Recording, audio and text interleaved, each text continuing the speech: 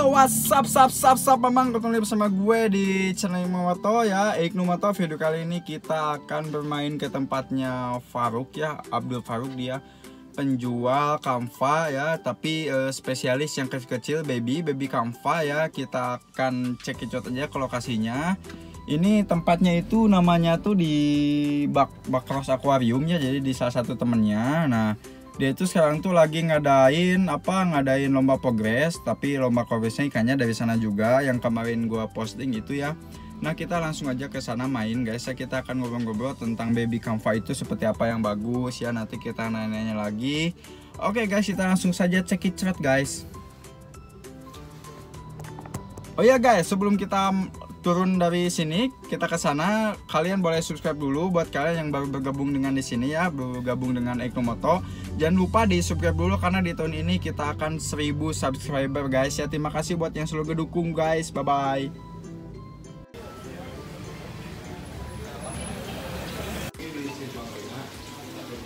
Halo geng, di sini emang uh, agak gelap cuacanya tapi gak masalah geng ya.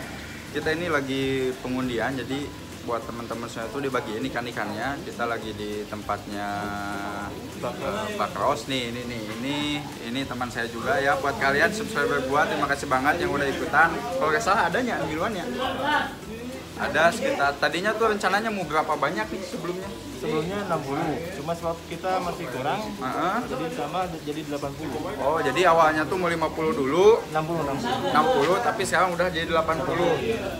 Okay. ini buat kalian juga nanti setelah ini kita akan ngobrol-ngobrol juga tentang uh, baby kampa karena kan teman gue ini uh, dia emang khusus di baby kappa ya. Ya kalian juga lah bisa cek lah ada ininya uh, apa Facebooknya? Ada. Abdul Faruk.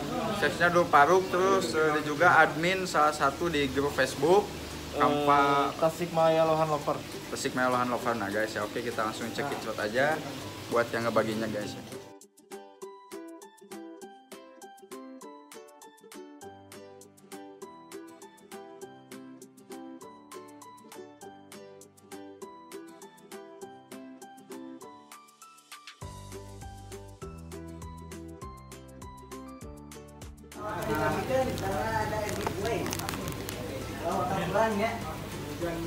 Wih, ini ikannya kampa kampa Thailand bosku ya.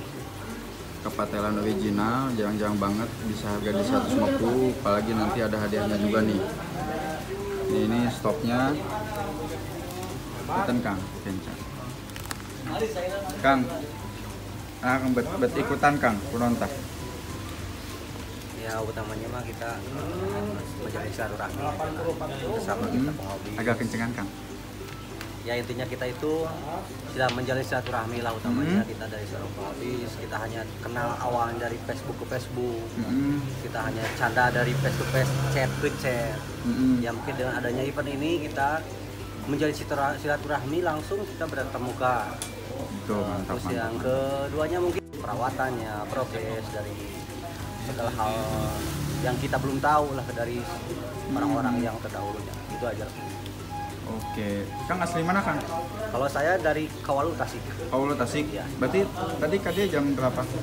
Tadi ke sini jam setengah dua. Setengah duaan. Ya, setengah duaan. Berarti baru ambil ya.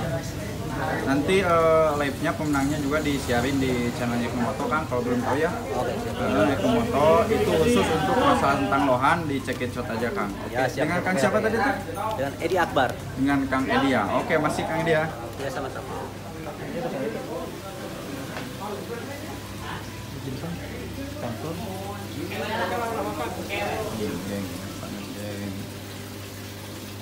Atas Kang, atas Kang. Atas. Hari, wis nomor berapa ya?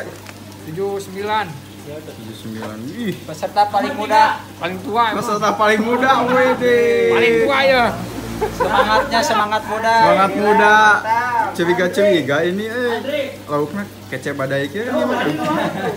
Oh iya, peserta paling tua ini namanya aduh. Mantap. As, asli mana Kang? Tasik. Asli Tasik, asli Tasik. Dapat infonya dari mana Kang? Dari grup. Dari grup. Teman-teman. Ini. Oke, siap. Kalau dulu mah kan namanya Cinsu. Ah. Nyobain ke dari tahun 80-an Kampa. lah. Oh, ah, ah. Belum ada itu mah kampa mah. Oh, belum ada. Waktu 80-an. Dari tahun berapa Kang? Dari tahun 80, 84, 85 lah. 84. Waktu musim sensu, GG. Penghobi lama. Kombi lama lah ini mah. Senior, senior, senior, senior. Mantap, Mau mantap. nyobain ini. Mau nyoba. Oke, semoga semoga aja Kang lah memberikan hasil yang terbaiknya. Super euy. Perkenalkan namanya Abi Andri di Paganingan. Atur. Ngali Kang Andri. Siap, siap. Wis, geng, mutiaranya geng, geng, geng, geng ya. Ini calon-calon kita nanti akan ngobrol juga untuk progresnya ya. Oke, mantap jiwa, bosku. Kang Andri, iya punten. Mantap. Eh, bukan cair. Geng, ikan ikannya geng. Ini sawah kalender ya Kang ya? Ini udah sortir kedua. Order satu kedua. Mantap kualitasnya sih. Mutiaranya mantul-mantul. Ikannya. Ya.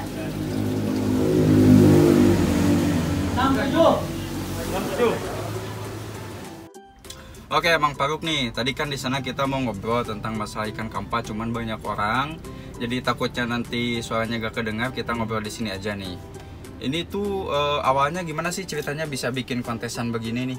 Untuk Awalnya awal saya iseng-iseng aja sama Hmm, tim saya kan di Mm-mm. Tasik. Awal slotnya kan saya buka 60, cuma Mm-mm. ya alhamdulillah lihat antusias warga Tasik mm-mm. bertambah bertambah jadi 80 maksimalnya itu. Mm-mm. Tapi dari luar Tasik ada gak yang dikirim-kirim? Ada ada Ada. Yang Cuma paling dibatasi. jauh di mana? Yang paling dari? Batam. Dari Batam berarti emang yang luar jauh itu dibatasi dulu emang ini buat regional dulu Iya. untuk teman-teman dulu ya. Kita fokus ke daerah dulu. ke daerah dulu oke nah geng buat teman-teman kalian kalau yang belum tahu ini adalah nanya namanya Abdul Faruk ya ya Mamang Faruk aja panggil ya. Jadi kita akan manggil Mamang Faruk. Nah kebetulan ini temen eh, gue ini emang salah satu yang khusus di Tasik ini. Kalau menurut gue ya ini khusus di concernnya itu di Kamfa dan kamfanya itu di ukuran size-nya kecil baby lah bisa lah bisa disebut baby. Nah ini ini emang asli dari Thailand atau gimana nih? Iya, saya saya sendiri impor langsung dari Thailand. Dari impor dari Thailand jadi bukan ikannya kaleng-kaleng lah ya Bukan. nah buat teman-teman sebenarnya beruntung sih kemarin kan karena udah diupload juga nih ya ke teman-teman subscriber gua makasih banget yang udah nge-like yang udah nge-share juga kalau mau belian kalau mau beli langsung tinggal langsung aja cek ya di Abdul Faruk di Facebooknya ada ya. Nah nanti nomor juga nomornya juga akan disiapkan itu deskripsi. Emang ikannya mantul-mantul banget dan hari ini ini lagi ada pengundian ya. Nanti langsung cek aja. Jangan eh, buat kalian juga yang baru bergabung tinggal di subrek aja. Jangan lupa ya karena di tahun ini kita akan mengejar 10.000 subscriber, oke? Nah terima kasih banget pokoknya buat kalian. Nanti setelah video ini ada videonya yang part selanjutnya itu tentang untuk masalah kampa jadi mengurus kampa itu seperti apa tapi sebelum masuk ke sana kita ngobrolin dulu tentang masalah VIP nih karena masih banyak teman-teman itu yang masih bingung nih Hmm. antara VIP grade C grade A grade B itu perbedaannya gimana sih dari Thailandnya itu Sebenarnya sih itu perbedaannya dari sortiran. oh dari sortiran ya heeh, heeh. Indukannya sih masih sama, Mm-mm, cuma mm-mm. eh, yang ngebedain grade A, B sama PIP itu sortiran. jadi emang karena kan emang sih emang harus dibedain. Soalnya kan dari apa dari anakan lohan itu kan gak 100 gak 100 200 itu bisa banyak bisa ribuan malahan ya. Ya itu emang harus dipisahin antara grade A, B dan C biar kualitasnya lebih bagus. Dan ini emang kampa ini eh, yang diimpor dari Thailand itu emang male semua 90% 90% ya, male ya karena 90% udah disortir dari sana. Mm, mm, mm, mm. Jadi emang orang Thailand itu kayaknya punya teknik khusus ya Iya, untuk menyortir ini male atau Female. female-nya. Nah, terus untuk masalah harganya nih rata-rata nih ya. Ini berapa tuh kalau VIP yang kelas mantul banget lah istilahnya? Ya kalau yang PIP kisaran minimal 250. 250 Iya. itu size 2 cm 3 cm Iya, iya, iya. plus 3 cm Nah guys berarti kalian jadi jangan bingung lagi buat kalian yang mau beli dengan kualitas emang prima banget Yang asli banget original.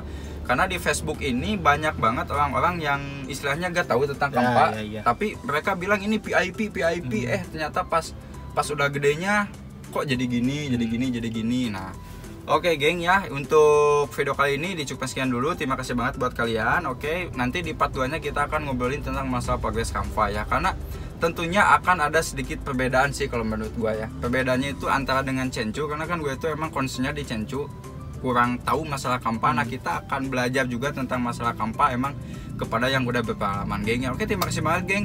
See you next time geng